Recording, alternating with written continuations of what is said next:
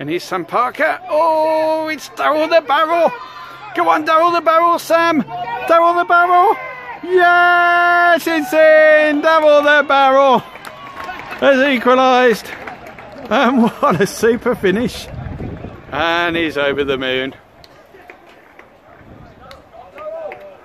Okay, it's Lee Haywood. Ganti. Still Ganti.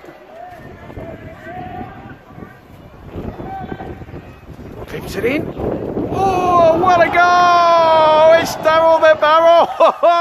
it's one of the best goals I've ever seen down here with the lamb. Oh, roll out the barrel. Oh, superb. Well, a goal made by Nick Gant. Out and gives it to Cleary. Cleary into uh, Keogh, but no, oh, it's the barrel again. Surely not. Oh, it's a hat trick. It's a hat trick for Darrel the Barrel. What a goal. Oh, it's unbelievable stuff. Well, this guy is something special, it's got to be said. Absolutely wonderful.